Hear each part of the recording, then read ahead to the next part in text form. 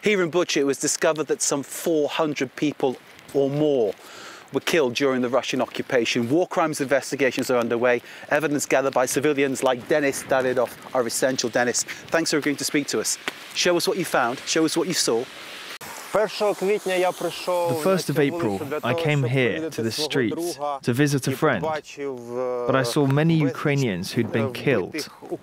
They were lying over there with their hands tied.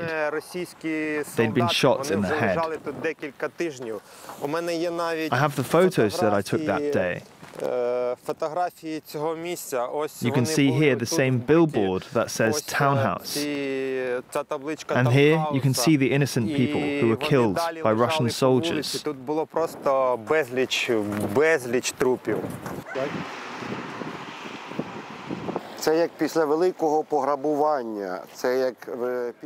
It's like after a robbery or a rape.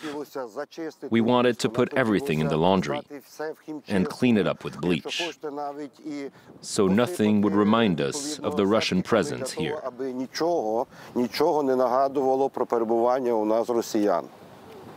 You, you must have been seeing that, incredibly afraid, frightened. I already wasn't afraid. One year of war puts you in such a state that walking among dead bodies, you only think about where you're going to hide if you see Russian soldiers.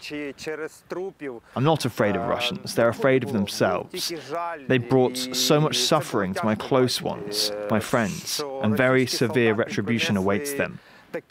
They will pay the price of their acts of terror and their acts of genocide. Yablunska Street here in Bucha looks today like any other, but all the fences, all the gateposts have signs of Russian bullets. And indeed, this entire roadway a year ago was strewn with bodies, civilians shot dead by Russian soldiers. But Bucha isn't the only place with war crimes to be investigated.